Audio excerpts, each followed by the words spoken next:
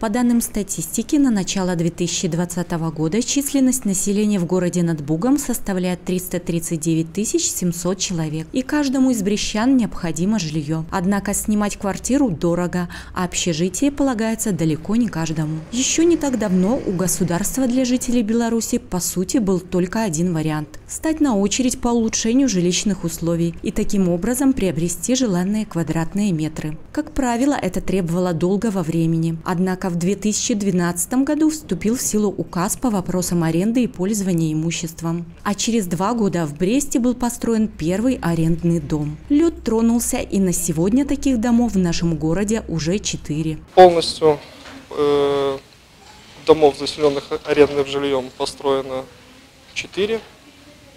В некоторых домах э, по несколько квартир, так скажем. И в следующем году планируется сдача дома нового арендного. Граждане, которые, допустим, заселились в арендное жилье, заключается с ним договор найма на 5 лет, и при условии того, что они полностью выполняют свои обязанности по оплате коммунальных услуг и э, пользованию арендным жильем, соответственно, с ними перезаключается впоследствии договор снова на 5 лет. Наталья Хвальков в Брест приехала работать по распределению. Поначалу получила комнату в общежитии. Однако после замужества жилищный вопрос опять встал на повестку дня. Снимать квартиру дорого, и теперь на арендное жилье молодая семья возлагает большие надежды. Алгоритм действий постановки довольно прост. Огромный плюс то, что здесь пишешь заявление, просто оплачиваешь, документы как бы здесь предоставляются потом автоматически запросом.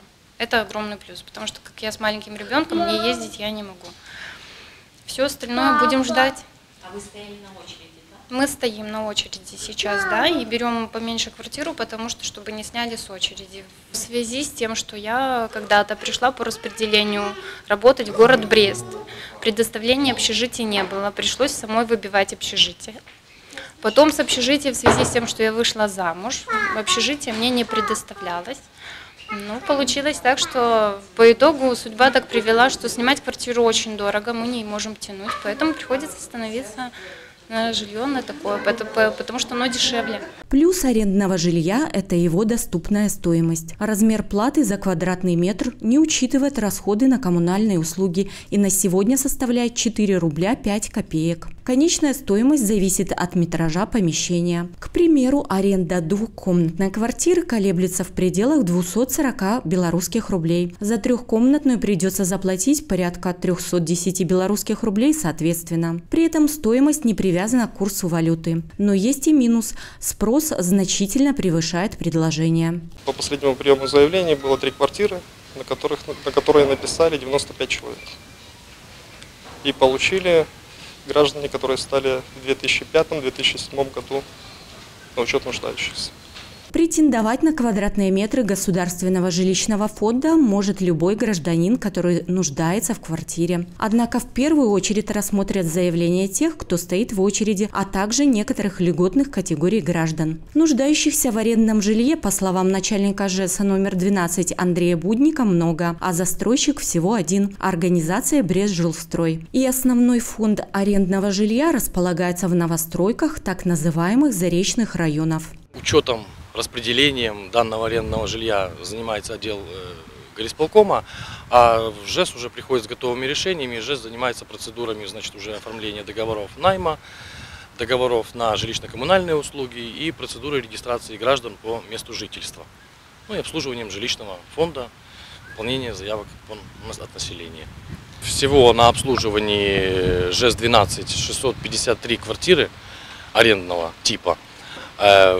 В одном доме 80 квартир, если взять 4 дома, 320 квартир. Вот только эта половина что ЖЭСа занимает 4 этих дома. Супруг Виктория Кекух заключил договор аренды, когда в семье еще был один ребенок. На данный момент счастливая мама ждет пополнения без опасений, что в любой момент их могут попросить с вещами на выход. Пятилетний срок найма черным по белому прописан в условиях договора. Не последнюю роль сыграла и доступная стоимость, которая не привязана к курсу валюты. Выбирал муж вообще, ну муж получил изначально.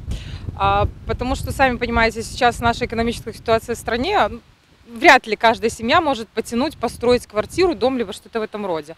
Соответственно, снимаете жилье вы тоже, посмотрите цены там за а, однокомнатную квартиру в той же, на том же Востоке или здесь же на Вульке будут брать 150 долларов только, и, ну, в долларовом эквиваленте, все понимают, что не к рублю привязано.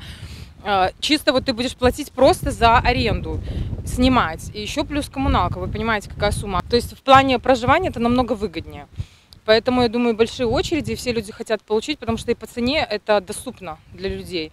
И тебя ж никто, вот, допустим, опять берем а, у частника мы снимаем, да, тебе позвонит хозяин, скажет там, вы знаете, я передумал сдавать. Ну, там, адьос через две недели, а ты как бы сидишь и думаешь, а куда тебе адьос?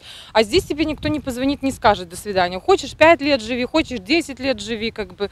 И строишь параллельно где-то что-то, смотришь, квартиру, дом, на что тянешь, как бы, то и строишь. То есть очень выгодно. По карману или нет арендное жилье каждый решает сам. Очевидно одно – квадратные метры на правах аренды востребованы. Спрос на такие квартиры сегодня высок, а потому эта государственная программа доказала свое право на существование. Дело осталось за малым – увеличить количество арендных домов.